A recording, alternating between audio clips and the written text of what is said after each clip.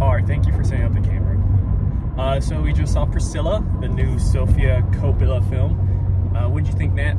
I wanted to. I I liked it. Uh huh. is that, liked it. is no, that it? no, it's not that I didn't like it. It's that like I, my immediate thought, which I told you when we were in the theater, is Uh-huh. I want to go back and watch it again because it's what's it Coppola film. Yeah. Sofia Coppola. It's, She's- it's very subtle. All of her stuff is very rewatchable as well. Yeah. Mhm. Um, one thing I would like to say is I wish AMC would look into soundproofing their theaters because the entire time just need to fi- figure out the speakers. The Taylor Swift movie was playing next to us. it was playing next to us, but it, Yeah. it was so loud that the entire Oh, yeah, time I was like, watching Priscilla. It was shaking our theater. It was like the reverb from all the bass and the music. It was crazy. So I it was recommend insane. sitting in the middle. I recommend sitting in the middle, and I recommend not seeing it when the Taylor Swift movie is playing. But that might not I- be I think possible. that's kind of typical. That Yeah. made like a hundred million. Oh god, the movie's making a ton of money. But I really like this movie. I think Priscilla was. It's weird saying this because all of Coppola's movies are good, but like it's probably one of her better movies too. Yes. But like it's a really, really good focused biopic, which um, she does well. She did Marie Antoinette, which is a biopic. Virgin Suicides kind of is one, No, even if not. even no, no, but it's not a biopic, but it's it is a character focused film. Yeah. Yeah. But it's an adapted screenplay. It's Yeah. not.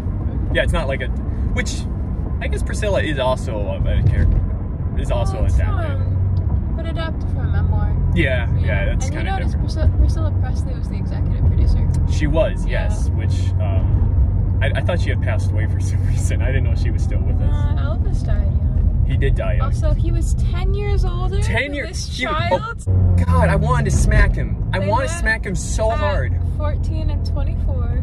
He is so disgusting and in awful. Germany, he was deployed. I forgot Elvis was in the military. He was. He was in the army for a while. Yeah. Um, And Priscilla's parents were like, "Yeah, it's fine if you date this." it's fine if you date this man. grown." You're you're a ninth grader. Like they It's so kind of gross. resisted it a little. But like barely, they're like, "Don't you do that!" And he's yeah, then they're but, like, she doesn't have a driver's license. he he calls her dad, and then he's like, "All right," like it's barely anything. There's like no resistance from the parents. I so I've watched and I've watched a lot of To Catch a Predator, the TV show with Chris Hansen catching like sexual deviants and stuff, and he. Elvis uses every gosh dang trick in the book to manipulate and just oh god he does everything all those guys do to priscilla and it's so i couldn't watch it at points you saw me i couldn't watch this movie at points in his knees. because i hated him so much i hated him so much by the end of what's it interesting about the movie, I was thinking about this, is Uh-huh. like you don't want them to be get together because she's a child kid. He actually calls her a baby at one point. He's like, "Oh, you're 14. You're just a baby." oh yeah, Uh, she's also small too. She's Like, incredibly she's a little small. person, so not only. Uh, but is he also just a very tall man like I think he's normal tall. I don't think. Let me look. how Like, tall is the actor i don't know how big elvis was too uh, like I'll look up both. I think tall elvis was pretty he was tall about your size. oh. Yeah. how short is she three feet then like she's, The, she's act- the actress is five one. I don't Oh know how tall actual Priscilla is. Yeah. So let me look up Priscilla Presley height first. But it, they frame everything really well in this movie just to get across just like with the visual depiction of how tall he is and how short she is. Okay, Priscilla Presley uh, is five four.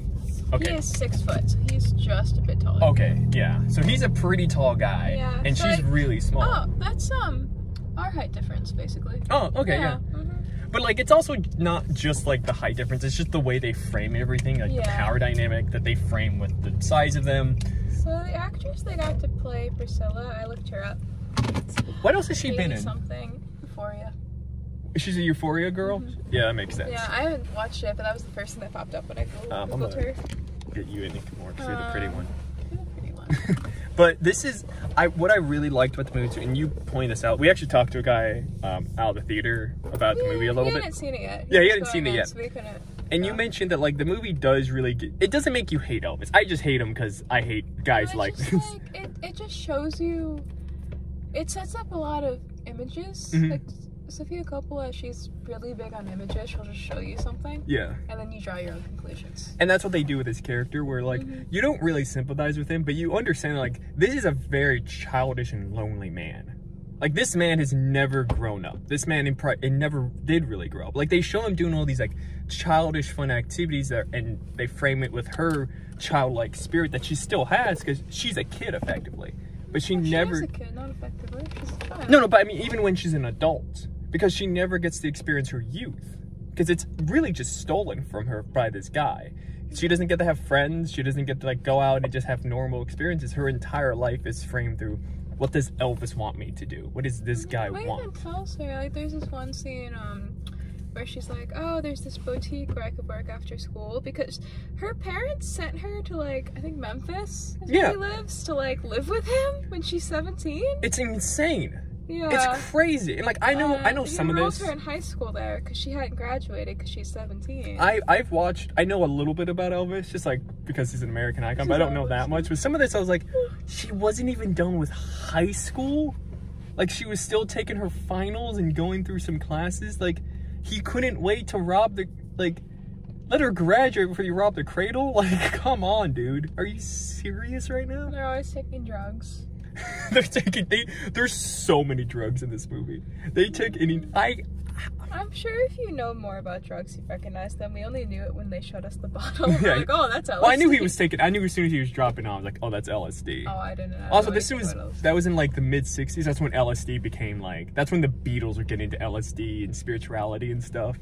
Like I knew like for a while Elvis was kind of like a super spiritual spiritual guy, like oh, yeah, that we saw that new agey wave. too. Yeah.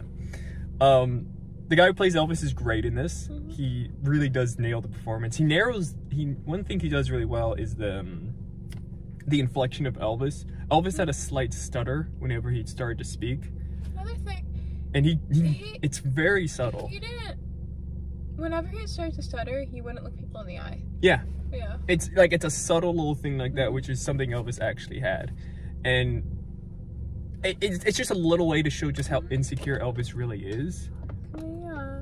Talk about the lighting too? Oh yeah, go ahead. Whenever they were shot together, she does a great job with silhouettes. She's so good at There's that. man. like um, another thing.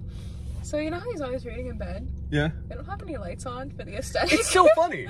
I noticed like, that too. I was like, it's hilarious. He's like wearing his glasses. I'm like, maybe turn on a light, buddy. It's all warm lights. It's very low lights. It's mostly it's mostly warm lights the whole time. The only time you get cold lights are when he's performing, Mm-hmm. and then like the the LSD scene, everything's like pink and orange. but I like that they um they also like span a very long amount of time in the movie, and they do it really well. And they the pacing in this movie is good. The one thing Coppola, Sofia Coppola gets away with that many directors can is her movies never really have any acts. Her movies was- never really have a first, middle, bring up that up because like this is, but it works well. Like she can this is do it based without on it. a memoir, so Yeah. like you're not gonna get the arc Yeah. because that doesn't happen. But I think her her better movies are the ones where she doesn't try to play in an arc structure. Mhm. Where she doesn't try to play in any kind of Yeah, like I beginning, middle, the and only end. one we saw where there is a structure like that. What's the one where they're The like Beguiled. the Beguiled? Yes. That was a remake of an older movie. That was a Clint Eastwood film. Yes, it was. Yeah. And I think that's one of her, probably her weakest movie I've seen of hers. It doesn't feel like a Coppola film. It doesn't. It, it's a weird choice for her too. Like I don't Yeah. really get why she made it. I think it's just I don't know, maybe something about the. I haven't seen the original Nicole movie. Kidman's in it. You She like is Nicole Kidman? I do like Nicole. At, you, hey, I made sure to. I had to leave the theater right before the movie started just to grab And some Nicole snacks. Kidman. And I ran back making sure I didn't miss the Nicole Kidman She intro for the AMC. I don't. Okay, Nicole Kidman, Pretty Woman, right? Yeah. Who was in charge Of her hair? costuming or her hair? Her hair The looks terrible. setting? It looks fried. She walks, it's supposed to be like she walks, this is not about the movie. She walks in the theater and she's in like, there's like these chrome pillars around her with like numbers of the theaters. I'm like, why is she like in the SpongeBob future chrome future? It's like, not a very commercial. it's a terrible Maria commercial. Menounos, we like her. We love Maria Menounos because we have no idea who she is. She's the lady who talks to us before the movies. But what does she do? She's Greek. My dad tells me that every time. He's like, "Did you know she's Greek?" Do you know she's Greek? But it was. Oh, there was something else I wanted to say about. Oh, the way that they show like how much. Ah, ah. No, there you go. But the way that they show like how they drift apart is really impressive. But they also show like the um the almost nothing attraction they have to each other. Cause like they're with like he only loves her as a doll. He doesn't actually love her as a person. He dresses her He up. literally dre- there's a whole scene where he's dressing There her up. multiple scenes where he tells her what Like, don't wear this, don't wear this, Yeah, and he's. stops dyeing her hair at the end too. I didn't notice that, Yeah, it's brown.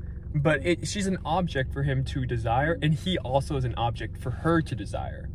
Because I don't think she actually loves him. If you asked her like, "What do you love about Elvis?" she'd probably be like, "I don't know." So, I think one, she's enamored with him because she was a teenager Mhm. during the Elvis years, Yeah, and like she's 14. yeah. Sure, she And, loves him like a um, 14 year old loves an idol. Another thing, he made her feel like he needed her. Yes, he manipulates her that way. Yeah, he's Which like, is a common "Oh, tactic among sexual predators." Like, you're the only one I can talk to. No one else is like you. Like my mom died, and like she would have liked you, Mm-hmm. and I'm sad. That kind of thing. Yeah. Yeah, and like she even like there's even a part in the movie where she's having an argument with her mother because her mom's like, "You can't date this old This guy. this geriatric You're- man. You're supposed to be a tenth grader." and so, um, oh, but she was like, "Oh, he's not like that. He needs me." he needs me. Like, and it's it's so desperate on her end. I think to convince her mom and herself. Like, I re- I don't think she believes that because she doesn't really comprehend that idea because she's 14. I don't think she's. Don't Or think 15 or whatever Think in that that she scene. disbelieves it. I think it's just that like No, no, I don't think she disbelieves it. She doesn't she, understand. She doesn't. She's not interrogating it because she's a kid. Mm-hmm. Yeah. And And, she- like, you're kind of allowed and supposed to feel that way as a teenager, but you're supposed to feel that way with other teenagers, not adult men I still- in the U.S. military. Grown men who are like, God, it's just the way he just screws her with her the entire movie just pissed me off. Like he's abusive. Like he never. This is a really small detail, but whenever he comforts her, he doesn't hold her. He grabs her. Mhm. Like I'm gonna demonstrate. well, he would like. But he just like grabs her like, arm. swallows her because he's so big. Yeah, but no, but I like I mean, it's like there's a scene where he like throws a chair, and instead Yeah. of coming over to her and like, oh, how, like I'm sorry, like, and he's trying to come, he gra- he always grabs her arm with his entire hand, which This guy has huge hands. and he's and he's a big guy, and she's very, and it's just like this is very intimidating way of like going to her, and it almost ends whenever they're having that little moment. It almost ends with her having to comfort him. Like it's never really he feels bad for it. It's like she now has to comfort this man baby because he feels so bad. Like she has to feel bad because like oh it's my fault. It's my fault he threw the chair. I wonder, like, how in control he is of himself. And his business and like, not not so much his business, but like when he gets angry, like sometimes it feels like it's a choice he made, hmm and he's doing it to kind of punish her. Yeah. Like when he gets really, that's a good that's a good point actually. like when he gets upset with her when she's like, "Hey, why are you carrying around love letters in your pocket?" From other actresses and, that um, that yeah, yeah. And he's like, "Well, you're gonna go stay with your parents." And he starts throwing all of her clothes in a suitcase, and she's like crying while taking the hangers off. hmm and then he comforts her.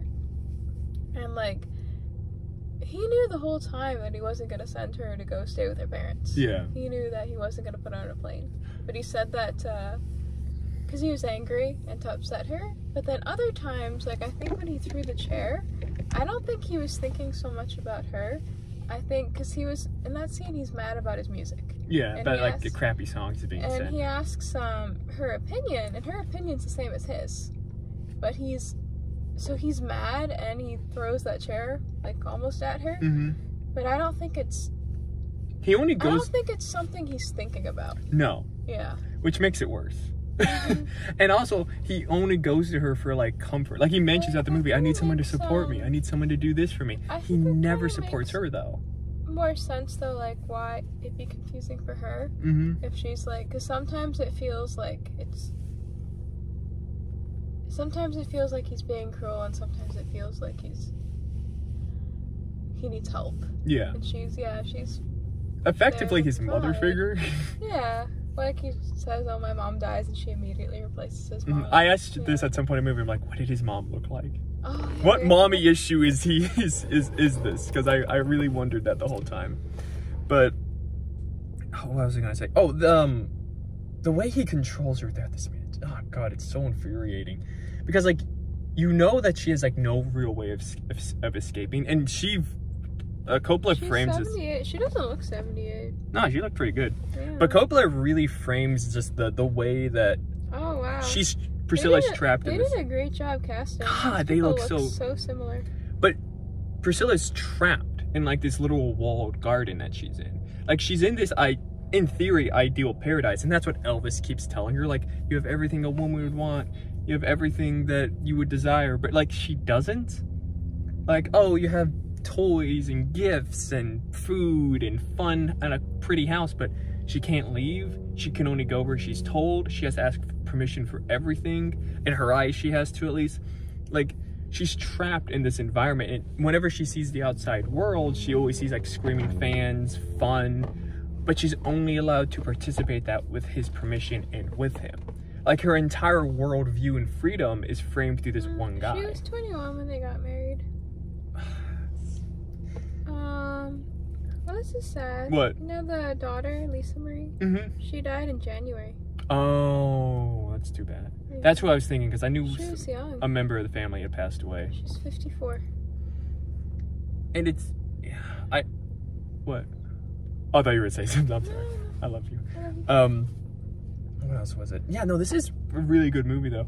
I hope that this gets some, I don't know, costuming awards or something. Like, there's some really good hair and makeup throughout this entire movie, and all the costuming is A plus. Um, Mhm. it'd be funny if this guy got nominated for Elvis, but it'd also be insulting if he got nominated for Elvis and Priscilla didn't get nominated.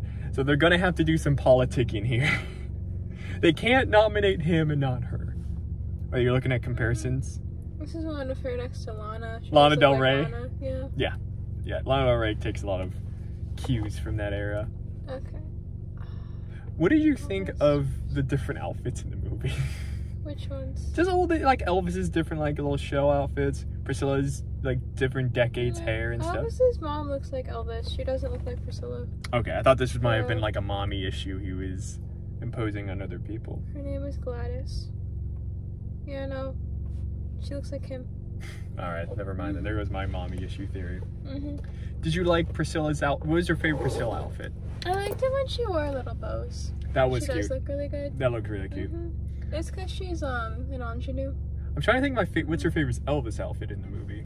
Um, I thought it was pretty funny once he got sideburns and started wearing like the stereotypical Elvis. Sideburns outfits. era Elvis funny. is my favorite era. Like but the cape. The cape The is so good. Okay, they um. Oh yeah, music. Not Music. Elvis, Elvis music. One. Elvis song that he performs like in his house. Um, Yeah, he just that's plays it. it. on the piano. that's it. That's it. And I, I don't think the actor sang it because they keep cutting away from him Mhm. singing it, which is fine. Yeah. But so there's only one Elvis song, and I'm like, but they do have a concert scene. It's just like silhouettes of him performing, and he's Mhm. got the cape, and it's a great. it's the 2001. A Space Odyssey The theme intro. flare, um, the flare pants are so funny. Yeah. I love his uh the white speed like race car outfit he has at one point. That was pretty cool. But I don't know that like black V-neck coat he has too. Pretty cool. Pretty cool stuff. Elvis was one of those people where he could kind of pull off any outfit. Well, he was um, he was a pretty man. He Oh, he was, yeah, but like even Pretty man Man 'cause can't put up a every winter. outfit. A what? A winter, What is blue eyes, black hair, pale skin. I didn't. I, I did not know what that meant. I learned Mm. something new every day. What am I? Am I? I don't think I'm a winter then. No, I don't think so. What am I? Spring, summer, autumn. It might be fall. I might be a fall. I might be an autumn. That didn't go. What are you? I think I might be a spring. Mm-hmm. It's like pastels. I don't think I can because You do look good in pastels. Winter is at jewel tones, which work with me, but Mhm. I think that I don't think I can handle a lot of the brighter colors. You do look good in pastels. Mm-hmm. Um, but oh, I'm sorry, I burped. Um, I did enjoy the movie though a lot. I'd recommend it. I don't know if people are gonna be able to see it though, just because like it's getting like a semi-limited release. It's weird how A24 does that. In a good place for movies. Well, we happen to just live next to like a good amount of theaters that are pretty Well, big. We, we live in a large town. Yeah, so we live, Mhm. but even still, like, it's weird that A24 does this, where they give a lot of their movies like a week or two. Like, Beau is Afraid, Boo is Afraid, whatever it's called. It got like two weeks in theaters, and it was a Yeah, I still haven't seen it. Oh, I haven't. Is it any good? I, I, I haven't watched it. I was waiting to I watch it with you. it with you. Um, heard it's just an insane weirdo movie. I want to see Lost in Translation again. Yeah, yeah, we can watch it again. But um, what was I gonna say? Uh, to do lighting, all the acting is great from everybody. I hated I Elvis's loved dad. Elvis's house. It's Oh, his so house is so cool. Such I a would- pretty house. I would love if somebody who was an Elvis expert to like see if they replicated Graceland really accurately. I think so. I have no idea because I've never obviously been or seen it. I know it's like um you can go like it's like an The gates are exactly the same. They've got like the gates, the music. the Dolly. Parton song at the end was a nice touch. I love Dolly Parton. Oh, Who doesn't love Dolly Parton? That's who they should have made a movie about last year instead. Instead of Tom Hanks and Uh, you know who Dolly Parton thinks is her successor? who? Guess. It's gonna be someone hilarious, isn't it? Taylor Swift? No. I have no idea. It's a woman about the same age though. Katy Katie? Perry? Oh no. Uh, I don't know. Miley Cyrus. Real? Yes. Oh, that makes sense. no, I thought about it for two whole seconds, and that makes sense. She's a she's a good singer. It's No, she she is. smokes. She should stop doing that. Well, I think she sings better because she smokes. It gives her a better It's range. interesting actually. Sometimes she performs with her sister, and you can hear the difference. Miley Cyrus has a sister. Yeah, her name's Noah. Oh yeah, Yeah. she's kind of insane. She um was the voice actress for Ponyo, I think. Really? Yes. How about that? They always I get the watched weirdest. like the bonus section. Yeah, Josh Like, Robert- Hutcherson's in that Robert. Pattinson is in a lot of Studio Ghibli films. Is he? Yeah, As what? he's just in a lot of them. Like he does voices. Kristen Stewart is in uh, Kiki's Delivery Service. I could believe Robert Pattinson. Oh, you're He right. doesn't, That would have, he work doesn't too. have the right coloring. No, the no. attitude. But yeah. he has the attitude. He has the look. I think. I don't think he could do the accent. No, he could. Yeah. He I could like the barely guy do that got to play semi-American. Elvis a lot. I'm not trying to recast him. I think he did a great job. His voice, his his inflections, It's perfect. it's yeah, dead it's on, perfect. and he didn't have to become Elvis for three years or whatever it is Austin Butler did, who is probably He's still good at Elvis. Elvis in private. You know, What? um, like that's who he was playing. 'Cause Oh, he wasn't playing. Elvis the performer. That's a really good Elvis the point. You're right. So he was really good about being a person. That's a real. I didn't even think about that because us, but like, because the Elvis movie last year was more so focused on like the public figure. Obviously, it did internal. I didn't see it, but like, it was a lot of like bravado and theatrics. But this one is all personal. You never see Elvis perform. We do see that little sequence, but like, mm-hmm. we don't see him as the rock star. We see him as Elvis the guy. I guess they have him on TV, but it's a Priscilla movie. Yeah. And like, she was never there. Yeah, Yeah. and I um.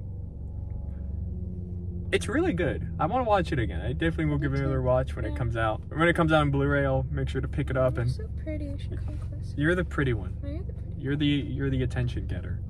Um, what? Because you have pretty eyes. You have pretty eyes. I love your eyes. And are you? Why do you do this to me? Oh, look at his eyes. I have so eyes. we both have blue eyes, but his have a little bit of green around the pupil. Just the hint of them. It's very pretty.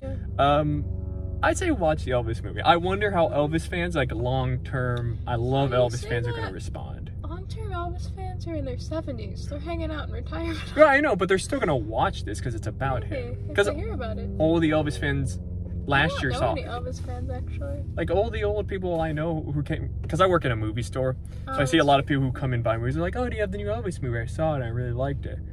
And so they're gonna be wanting to see this one because, like, oh, cool, another Elvis movie because he's their, you know, he's a rock icon they like. I wonder how they're gonna respond to this, and It's not a bad. It's not. It's an not. it's not, but like it does depict him in a more negative I light than I think some people would like. He was an adult man who decided to date a child. Mm -hmm.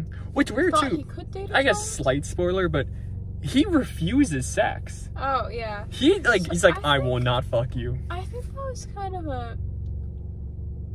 part of the allure for him. Uh huh. This idea that she was so young. Oh, I didn't think about that.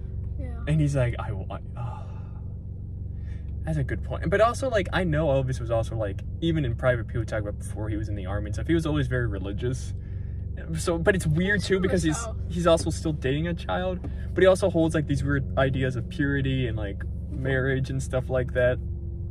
But yeah, he's like, I won't have sex with you, and she's like, please have sex with me. I think that's. I, I'm gonna watch this again. Me too. Maybe we'll, With let's go. Yeah, with Yeah. me. That's nice of you. Um, We should have a Coppola special. we should. We haven't seen Bling Ring yet. We should. You we have it. Don't I you? have it. I bought it, so we need. I mean, we could watch it tonight. We don't have to. We have time. That'd be nice. Do watch. Yes. Hi, Kyle. Now, is Kyle the only one who watches? Maybe this? say hi to him. Hi, Kyle.